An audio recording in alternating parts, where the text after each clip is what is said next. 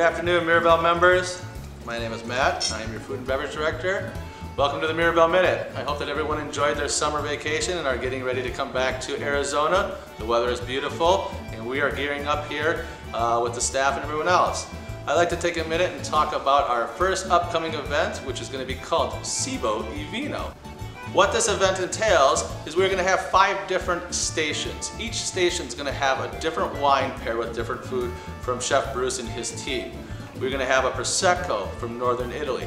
We're going to have a Pinot Bianco from also from Northern Italy. We will also have a Barolo from the west part of Italy.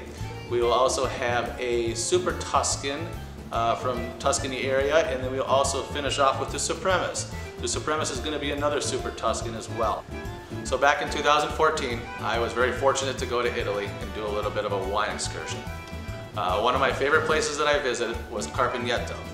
Uh, they make some of the greatest wines I've ever tasted and probably the best olive oil I've ever had in my life.